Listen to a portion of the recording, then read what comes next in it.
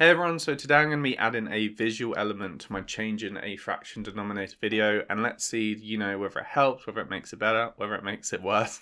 I don't know. But um, yeah, let's see how it goes. So looking at the change in a fraction denominator visuals, we have to answer a half plus a quarter. But we can't do this because they don't have the same denominator. So what you're going to want to do in this case is think, how can we make them have the same denominator? If you're not sure what the denominator is, it's the number on the bottom, so I'll visualize it here with the little red circle. So we have a half and we have a quarter, okay?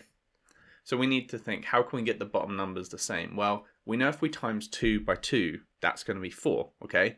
So if we take the first fraction, we times the top by 2 and the bottom by 2, because if you have a fraction and you times the top by any number and the bottom by any number, it keeps it the same. Like it, it keeps the same value, if that makes sense. So, you know, if you have 3 over 4 and you times the top by 100 and the bottom by 100, it's 300 over 400. So it's still the same value, it's just written differently. And that means we can do different things with it. We can add it to a fraction that we might not have been able to add it to before. Okay, hopefully that makes sense. So what we want to do is, is take the half and we are times the top and bottom by 2 because as I said before, 2 times 2 is 4, okay? So we take a half, we times top and bottom by 2, and then that's going to give us 2 over 4, okay? So now we have the same denominator. We still have a half, but we have a 4 on the bottom, and that means we can add it to the quarter, basically.